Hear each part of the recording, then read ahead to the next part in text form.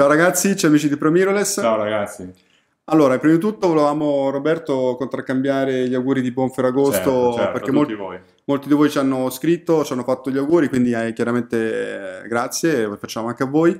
Anche perché Roberto, a parte questa pausa di, di Ferragosto, dall'autunno inverno ci aspetteranno un, un- un autunno caldo perché c'è Grandi, fotochina, can- grandi cannonate. grandi cannonate o niconate. Caniconate. Caniconate. Effettivamente, forse avete letto anche voi, Nikon ha già dichiarato che presenterà a fine agosto, insomma dopo Ferragosto, la sua Nikon eh, full frame mirrorless e anche Canon i primi di settembre, quindi i due grandi big riniziano la lotta come è sempre stato. Ti aspetti cose fantascientifiche, ti aspetti... Ma eh, io mi aspetto comunque che le, le due grandi aziende, ancora leader bene o male del mercato, almeno come storia, no? Forse come vendite ormai no, perché Sony comunque ha dato una spallata incredibile appunto al mercato, si decidono a fare il grande passo. E si decidono a fare il grande passo, ma faranno secondo me un po' fatica perché Sony ormai eh, per un paio di fattori ha già una tecnologia acquisita tempo, Sicuramente. È già, è già la terza serie della 7, no? Mhm. Presentata. Mentre Canon e Nikon è vero che avranno già preparato i loro progetti da tempo, non si buttano fuori così a, a sprombattute alla cieca, però sicuramente hanno, faranno fatica, prima di tutto perché non ci sono ottiche ancora presentate, almeno ne presenteranno mi pare un paio, due o tre per azienda. E, e Sony è fornitrice dei, dei Sì, sensori. io, io sono convinto però Roberto che loro hanno lavorato in questi anni bene, eh, almeno me lo auguro, perché hanno, insomma, non posso, soprattutto Nikon non può sbagliare, è in una situazione economica talmente critica che se Eh, sbaglia anche questo il lancio di questo, anch'io, sì, sì. eh, diciamo, è un fatto purtroppo risaputo che Nikon eh, naviga in eh, cattive acque. Secondo me l'obiettivo principale, Roberto, che hanno avuto sia Canon e Nikon è stato quello di tamponare l'emorragia incredibile che c'è stata da, da Certo. Canon, Nikon altri brand Ormai, a Sony. ormai Sony è diventata una piaga per queste due aziende. E- Eh beh, eh, nel nostro piccolo, da- da- attraverso eh, voi, insomma, amici di- del blog, eh, ma anche ehm, tramite il negozio, eccetera, abbiamo visto decine e decine di, di Sì. persone corredi anche importantissimi di Canon e di Nikon eh, emigrare praticamente su Sony. Ehm, anche perché Sony è vero che Canon e Nikon permetteranno di, però la compatibilità eh, di ottiche Canon e di Nikon su corpi Sony già è molto buona specialmente quindi- Canon. specialmente Canon. Quindi, insomma, io mi auguro che Canon e Nikon, eh, e ne sono convinto, eh, facciano delle cose interessanti. Nikon ha già lanciato questo video teaser, insomma, di, Mm, per incuriosire eh, un po' per incuriosire, per creare un po' di buzzing, un Mm. po' di eh, passaparola. Eh, si parla di una, di una baionetta molto più ampia. Le posizioni sono tante, però Sì. forse la più fondata è quella che può supportare anche formati diversi, perché Ma io, questa è un po' la mia, la mia teoria. Io credo che anche di un'ampia baionetta per dar più luce al sensore, però Ma io questa cosa qui è vera, ma se noi pensiamo alla Leica M10, alla- insomma la Leica M, che ha ottiche eh, anche molto molto luminose, F1, eccetera, una con, con una baionetta e un tiraggio molto più piccolo no, di queste qui, quindi non lo so se questa è la motivazione, può essere, io credo la motivazione sia che eh, Nikon abbia già, come dire, nel cassetto il medio formato e probabilmente hanno fatto un progetto unico anche perché, ripeto, devono ottimizzare i costi di, di Eh, produzione. certo, certo. Quindi Nikon sappiamo che uscirà con un corpo da molti milioni di pixel, La prima esce la, diciamo, la Pro, no? esce Quella- la Pro intorno ai 4.000 euro si vocifera e poi uscirà una Z300, non lo so il nome quale La sarà, baionetta, baionetta Z si chiama. baionetta Z, Ah. sì, quindi un attacco completamente nuovo, sicuramente con gli anelli le ottiche Nikon Eh. saranno completamente... eh, Ma tu cosa pensi? Che chi ha un corredo Nikon importante ancora, ce ne sono, Mhm. anche i nostri collaboratori, Sì, farà lo switch su un corpo mirrorless sapendo, anzi non sapendo se le ottiche che ha in casa potranno andare a avere prestazioni sufficienti. Io sono convinto che se faranno un buon marketing e soprattutto la tecnologia effettivamente c'è, nel senso che eh, io posso utilizzare le ottiche, quantomeno le G, insomma, le ottiche full frame eh, su Nikon, sul corpo. Mi credo che molti niconisti, anche perché i niconisti sono molto affezionati al marchio, Certo. eh, rimarranno o quantomeno ripasseranno di nuovo praticamente a Nikon. Ehm, bisogna vedere, io diciamo il punto di domanda più che Nikon, che più o meno si è capito insomma come, come, quali saranno le loro carte, a me interessa Canon, perché Canon prima di tutto è un competitor rispetto a Sony che ha, com, come Sony che ha una tecnologia altissima, è molto più grande di Nikon e quindi è quello che secondo me può competere Infatti, veramente. Anche penso- perché lui c'ha già una tecnologia che è il dual pixel, no? Sì, Che Sì. funziona già sulle reflex. Sì, quindi- beh, eh, ma anche sulle mirrorless l'M50 nuova che, che tra l'altro eh, costa anche poco, intorno a 800 euro, ha due pixel veramente impressionante, a livello video è straordinario. A livello fotografico forse devono ancora perfezionarlo, io mi aspetto, io mi aspetto secondo me sì, secondo me sulle nuove, sulle nuove Canon, eh, Canon full frame mirrorless io mi aspetto di vedere un- una tecnologia dual pixel eh, AF straordinaria. Mm, secondo me le- l'attacco sarà ancora perfettamente compatibile, quindi non ci sarà bisogno di anelli. Questo è quello che penso io. Ehm, Ah, tu pensi allora che l'attacco rimanga il medesimo? Secondo me sì, secondo me Canon ha sviluppato proprio la tecnologia Dual Pixel F per poter fare questo. E, e sinceramente potrebbe anche essere che, chissà, insomma, questo permetterebbe di avere magari un corpi macchina. Però certo, l'attacco può essere lo stesso, ma il tiraggio è diverso, quindi comunque ci vorrà una- un distanziatore. Beh, bisogna vedere perché magari hanno spostato leggermente il sensore un pochino più indietro. È da vedere, cioè quello che si vocifera è che l'attacco sarà lo stesso, eh, non ci saranno come ha fatto Sigma, diciamo quel raccordo no, Mm, sull'SD4. Eh, staremo a vedere, magari il corpo è un po' più grande, un pochino più impegnativo. Mm, Io non lo so, comunque di Canon ho grande fiducia. Eh, di Nikon sono convinto che farà un buon prodotto. Devo dirti la verità, io una baionetta così grande, per me il problema polvere sarà un problema Sì, molto forte, sì. perché mh, a differenza, siamo onesti, a parte Olympus, un pochino Fuji, eh, Panasonic, Sono ma, degli aspirapolvere. ma tutti gli altri onestamente la polvere arriva, cioè non, non a livello delle prime reflex dove insomma aprivi la- Mm. l'ottica e ti prendeva il panico, però insomma Sony Sì. il problema un po' della polvere ce l'ha. Sì, certo. Eh, d'altro- Anche addirittura su, su vari post e ci hanno anche scritto su apparecchi nuovi, addirittura. Sì, sì, sì, no, Quindi- infatti ehm, questo è un po' inevitabile, una baionetta così grande, e tra l'altro Nikon ha sempre avuto all'interno no, quella specie Mm. di, di velcro, che- non lo so, sono curioso di vedere se hanno, ci hanno pensato, perché altrimenti diventa un Comunque devono fare un prodotto veramente valido, Sì. perché sennò è un caracchiere. Sì, cioè Nikon non può sbagliare, Canon ehm, credo che cercherà di tamponare l'emorragia, sono- saranno ancora produttori di reflex di alto livello, ehm, cioè quindi Canon secondo me se la, se la batterà, Eh, sì, anche il vantaggio appunto è di poter far combaciare due eh, tecnologie diverse nello stesso corredo, no? Quindi questo io infatti- vedo tante persone Canon, magari anche Pro, che avranno due corredi paralleli esatto. questo Infatti, infatti questo è il grosso plus, cioè di, di chi ha Canon, di, di chi ha un corredo Canon o Nikon o così, e possono affiancare le due tecnologie.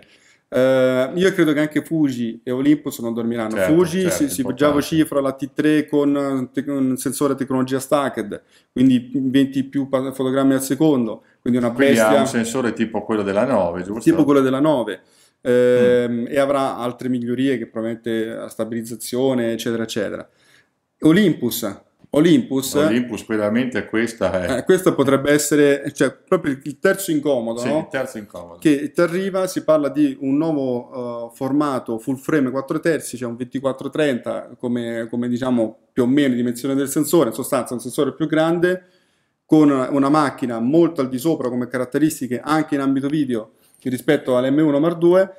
Ecco, se fosse così sarebbe interessante perché Olympus ha una tecnologia spaziale, cioè Sì. stabilizzazione, pulizia del sensore, tecnologia software incredibile, autofocus iper performante, corpi macchina che sa costruirli Olympus, senza dubbio, ottiche straordinarie. Quindi se Olympus dovesse veramente, come dire, affiancare al, al corredo micro 4 terzi, che io sono convinto che continuerà ad esistere, Ha, ha senso, 4 terzi. che ha senso perché effettivamente se tu vai alla compattezza, la trasportabilità, il micro 4 terzi è imbattibile, non c'è storia. E uno che ha un corredo un, eh, Olympus oppure che pensa ad Olympus dice ok mi faccio un micro 4 terzi con un paio di ottiche, di zoom e così per la trasportabilità e poi Inoltre si parla anche, si dice che le ottiche eh, fisse mm-hmm. ad ampia luminosità, le Zuico Pro, le, le, top, 2, sì. le top, hanno un cerchio di copertura più ampio del micro 4 terzi, sarebbe addirittura sufficiente per coprire un ipotetico futuro full frame. Ma chissà se non già non ci abbiano appunto pensato, eh, effettivamente sono importantine come lenti, certo, no? come ma proprio misurando anche guardandola dal lato baionetta mm-hmm. si mhm. vede che proprio lì la, diciamo la, la, il riquadro di copertura mm-hmm. è notevolmente più ampio rispetto per dire al 1240 Pro. Ma guarda, se fosse così Olympus eh, 4 sarebbe... zitta zitta ha piazzato, no? Sì. Ma io me lo auguro perché sai che sono sempre stato affezionato certo, al, certo. al, marchio Olympus e perché mh, ritengo che tra l'altro lo standard 4 terzi, anche se esteticamente preferisco il 2 terzi, ma tecnicamente il 4 terzi ha una resa ai bordi migliore. Eh, perché ti toglie proprio quelle due fascette. Sì, e perché chiaramente il, i raggi di luce arrivano più telecentrici no? Mm. rispetto... Quindi, insomma, ragazzi, eh, dal punto di vista di novità eh, nel mercato ce ne saranno tante. Eh, a questo punto, Roberto, la domanda nasce spontanea. Ma ha ancora senso poi andare a acquistare una reflex sapendo che tutti, compresi i big che erano stati, che sono stati fino ad oggi latenti, hanno deciso di investire Bella nel mirrorless? È come tutte le cose, non è che puoi dare dei, dei dettami che, si, che, vadano bene un po' a tutti, perché mm-hmm. a mhm. seconda dei soggetti, per dire, se me lo chiedesse una persona giovane, quindi già in, che una mente abbastanza informatica, che è già legata a quello che è il mondo web, ai blog, eccetera, io lo vedo indirizzato alla mia. Sì, io, io, più che di età, anche se è vero che le dici che tendenzialmente il giovane è più come mentalità, come mentalità, chiunque fosse orientato alla tecnologia, cioè gli piace il concetto della tecnologia e capisce che per sfruttare al 100% i nuovi mezzi fotografici, penso a Sony, Olympus, a Fuji ancora è rimasta abbastanza sì, tradizionale. Almeno come no? manovrabilità esatto. e approccio. E devi utilizzare la tecnologia, devi sfruttare le funzioni, devi co- conoscere bene le funzioni. Chi ha questa voglia, questa spinta, nel mirrorless si diverte. Certo, chi sì, non giusto, ha questa si diverte. si diverte. Chi non ha mm. questa spinta è chiaro che si può sentirsi un po' frustrato perché è abituato all'immediatezza, se vogliamo, di una reflex eh, o di alcune macchine fotografiche eh, per cui può sentirsi un pochino sì, quindi direi che il primo distinguo è questo, sì. queste due fasce di utenza. È, è no? diciamo la mentalità. È la mentalità. Chi proviene dal mondo analogico, ha, diciamo, non si vuole spendere a livello proprio di, di apprendimento, no? a livello di informatica, la Vertex va bene. Sì. E poi ci sono anche comunque gli approcci a livello di manovrabilità, come sì. hai detto, no? quindi quello che l'abitudine... Ti, fa, ti, faccio, ecco, a proposito di questo, ti faccio una domanda. Secondo te c'è qualche aspetto in cui ancora oggi la reflex la ritieni superiore o comunque sia che ti dia qualcosina in Beh, più? La prima cosa, lo usiamo anche per lavoro, è il mirino. Il mirino ottico e il mirino eh, digitale hanno, sono due cose completamente diverse sì. e hanno pro e contro. Sì. Bassa luminosità, come tu hai provato anche con l'850 sì. ultimamente, e il mirino elettronico ti aiuta tantissimo perché amplifica la luce, vedi benissimo. Con l'ottico, ma hai detto che... Hai detto, hai detto bene te, io ho provato perché ogni tanto mi piace fare un tuffo nel eh certo. passato. No, Ho provato con l'850 a fare insomma un, un evento, un matrimonio così e eh, di giorno fantastico, di sera quando c'è una parte luce, insomma la luce era scarsa, mamma mia, aiuto, cioè veramente abituato al, al, al mirino elettronico. Di giorno viceversa, certo, il mirino ottico è più confortevole. Però ti dico una cosa, Roberto, che non è tanto, non è solo la qualità del mirino elettronico. il problema è che i costruttori non dedicano particolare attenzione nella progettazione dell'oculare. Perché l'oculare nel mirino mm. elettronico non può essere come quello delle reflex, deve essere più pronunciato e deve isolare di più l'occhio dalla luce esterna. Sì, che poi è quando arriva la luce laterale. Laterale no? oppure proprio perpendicolare. Insomma, quando entra dentro è chiaro che il mirino eh, elettronico c'è anche da dire che non sono tutti uguali. Eh. Sì, non sono tutti uguali. Ci sì. sono di quelli tipo Olympus, eh, nel suo piccolo, tra virgolette, sì. ha degli ottimi mirini molto naturali. No? Molto naturali, molto sì. naturali. Con una capacità eccellente di compensare la luminosità in funzione del variare della, della luce esterna. Mentre tra la, la 7.3 per dire che noi sì, utilizziamo è un po' più rudimentario sotto questo sì, aspetto. Sì, almeno la 7.3. Insomma. Certo, la 7.3. Ehm, comunque, quindi mirino, mirino ottico, altro, altri plus che ancora... La manovrabilità. Beh, diciamo l'ergonomia, insomma, l'ergonomia perché le macchine mirrorless, a parte Fuji, sono macchine fatte di tastini. Uh-huh. Le macchine reflex, no. Le macchine reflex hanno ancora un'interfaccia che somiglia un po' a una logica memoria, no? E poi metterei anche l'affidabilità. Le macchine sì. mirrorless hanno, sono, sono, fondamentalmente macchine, sono PC, sono software. E software, come, sa, come si sa, può avere dei buchi. Oltretutto la macchina mirrorless scalda di più, non fosse altro che per il piccola. mirino sempre acceso, un display eh, sempre acceso scalda. Perché, perché è più piccola. È più piccola, è più compatta, diciamo deve avere dei, dei, dei, processori più potenti per funzionare a un certo livello e quindi scalda e il calore con l'elettronica non è che vada molto d'accordo no? oh, adesso fatta così sembra una cosa tragica. In realtà no, io parlo di, di piccole differenze sì, però... di qualche bug c'è. Devo dire che i costruttori in maniera molto seria fanno degli aggiornamenti firmware cosa che nella Reflex non succedeva. No. costanti quindi risolvono i problemi anzi ti migliorano il mezzo lo rendono più longevo eh, però è vero anche, anche, a me, in effetti, in diverse occasioni durante gli eventi, qualche, ogni tanto qualche blackout o st- cose strane sì, possono capitare strane, che si risolvono facilmente. Cioè, non è che sono problemi, dici, oddio, devo portare in assistenza. Cioè, spegni la macchina, riaccendi, di solito riparte. Cioè, Però per problemi. dire, sei tipo un reporter di guerra, no? Io me lo, non me lo chiederà mai, ovviamente, no? però lo vedo più con una reflex alcolica che con una mirrorless. No, io non sono d'accordo perché mm, per La me il fatto compattezza e silenziosità insomma, in, è un fattore importante. Cioè, il mezzo perfetto, Roberto, non esiste.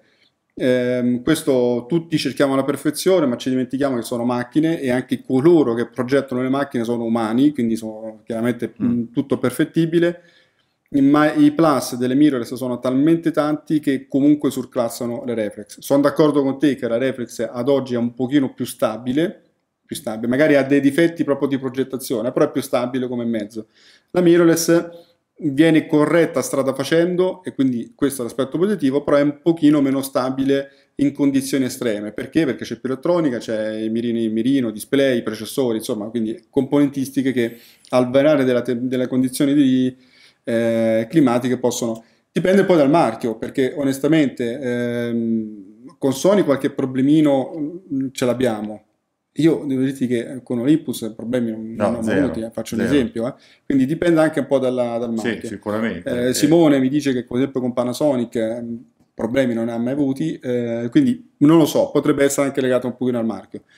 Eh, con Fuji e con Sony qualche cosina ogni qualche tanto abbiamo c'è stato grandi prodotti, insomma siamo sempre dei grandi fan di, di, di, di Fuji e di, Sony, però insomma va detto quello che va detto. Insomma, sì, comunque onesti. a parte tornando al discorso, alla domanda che mi hai fatto, conviene o no acquistare una, una reflex, mm. c'è anche la faccenda costi, che comunque nel mondo reflex diciamo dalla categoria media alla bassa è destinato comunque a morire. Mm, vuoi, vuoi sapere come la penso io? Secondo me ha senso comprare una reflex solo a coloro che eh, decidono di acquistarla pensando di tenerla per una vita. Cioè, ah, dice, io, sì, io la certo. compro, voglio un mezzo semplice, tradizionale se vogliamo, e soprattutto me la tengo finché non cade a pezzi. Anche perché la svalutazione sarà enorme. La, la svalutazione sarà drammatica, sì. cioè la verità è questa qui, sarà drammatica perché ci saranno sensori nuovi, più performanti, perché le mirrorless prenderanno il largo, è inevitabile. Perché le cosa. case lavoreranno sulle mirrorless. lavoreranno su, sulle mirrorless e quindi ok, se tu dici io voglio un mezzo semplice, affidabile, tradizionale, mi compro una reflex, magari usata, no? mm. quindi la svalutazione grande già l'ho fatta, a quel punto me la tengo, quando proprio cade a pezzi, a quel punto guardo il mercato. Anche essere un discorso per uno che ha un corredo mirrorless che vuole in certi casi avere la reflex per dire, non so, quando c'è per dire molta luminosità, sì. quando gli serve un'ottica un ecco, po' diversa. In questo senso Canon e Nikon faranno la differenza. Eh, certo. Va bene Roberto, Ragazzi, noi abbiamo fatto insomma di nuovo gli auguri, ve li ripetiamo di, di buon Ferragosto. Eh, ci siamo fatti questa dichiarata che è un preludio a quello che succederà e ovviamente vi terremo informati, ne discuteremo, vi faremo vedere le novità che ci saranno in, in autunno. Eh, da, tra l'altro in autunno da quest'anno partiranno anche i corsi Pro Mirrorless, se poi andate sul blog trovate diversi corsi per ora, ma poi aumenteranno insomma nel tempo sempre di più. Eh, noi vi ringraziamo, iscrivetevi al, al, canale, mi raccomando, mettete un like se, se, vi, piace, se vi, piacciono i video, eh, iscrivetevi anche alla pagina Facebook e il gruppo Facebook ehm, su, di, di ProMirrorless. Insomma, cerchiamo di, tenere, di tenerci in contatto e ci auguriamo di vedere alcuni di voi nei prossimi corsi, così più che altro ci conosciamo. Roberto, salutiamo. Ciao ragazzi. Ci vediamo alla prossima.